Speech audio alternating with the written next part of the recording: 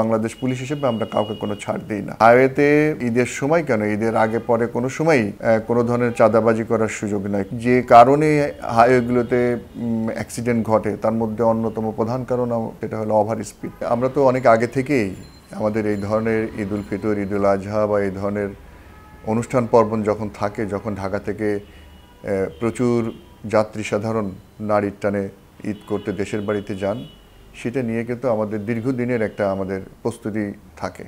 প্রতি বছরের আমাদের অভিজ্ঞতা থাকে। সেই অভিজ্ঞতার আলোকে আমরা কয়েক মাস আগে থেকেই কিন্তু এটা প্রস্তুতি গ্রহণ করেছি।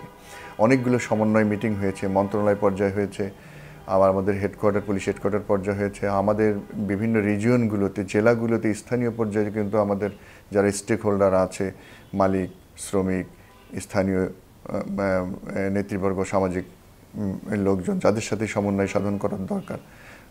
আন্তঃবাহিনী সমন্বয় সাধন করার দরকার। এভাবে কিন্তু আমরা ব্যাপক প্রস্তুতি গ্রহণ করেছি। প্রতিবারই করে থাকি, এবারও আমার আরও বেশি সচেতন।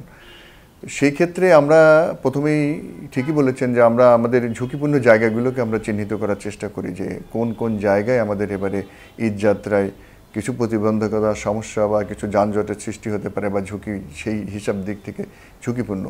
তো সেগুলো আমরা নানানভাবে স্টাডি করি অবজার্ভ করি আমাদের ট্রাফিক পয়েন্ট অফ ভিউ থেকে।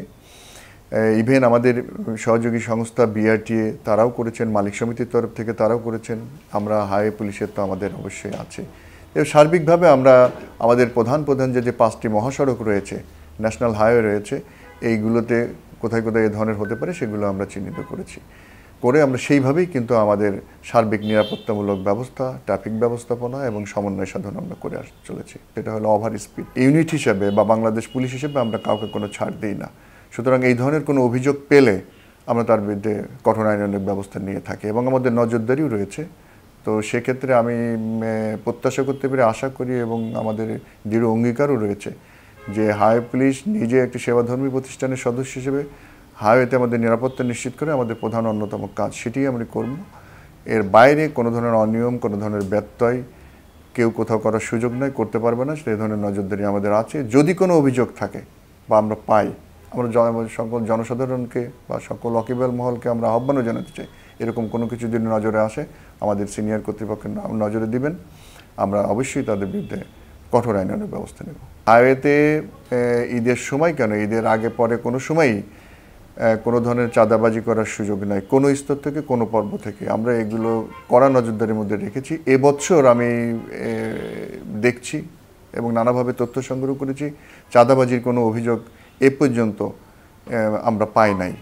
এবং সেটি আমরা ধরে রাখব এবং কেউ যদি করার চেষ্টা করে, তাদের কঠোর আইনে আওতায় আনা হবে। হ্যাঁ দুর্ঘটনা প্রতিরোধে তো হাই পুলিশ থেকে সারা বছর ব্যাপী আমাদের কিছু কৌশল থাকে, কিছু সচেতনমূলক ব্যবস্থা আমরা গ্রহণ করে থাকি, তারপরে এনফোর্সমেন্ট আমরা করে থাকি। আপনারা জানেন যে হাইওয়েতে আমাদের কিন্তু স্পিড গান যেটা আছে, আমাদের বেশ কিছু স্পিড গান আছে, প্রত্যেকটা হাইওয়েতে আছে, সেগুলোর মাধ্যমে কিন্তু সবচেয়ে বেশি যে কারণে হাইওয়েগুলোতে অ্যাক্সিডেন্ট ঘটে, তার মধ্যে অন্যতম প্রধান কারণ সবাই চিহ্নিত করেছেন সেটা হলো ওভার স্পিড সুতরাং ওভার স্পিড যাতে হাইওয়েতে না থাকে, তার জন্য কিন্তু আমরা সারা বছরই কাজ করে থাকি।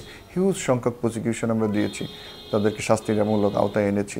এছাড়াও অনেক সচেতনমূলক কর্মসূচিও আমরা নিয়ে থাকি। আর ঈদের সময়ে আমরা দেখি যে ঈদের সময়ে গাড়ি অনেক হাইওয়েতেই ধীরে ধীরে চলে ঈদের তিন চার দিন।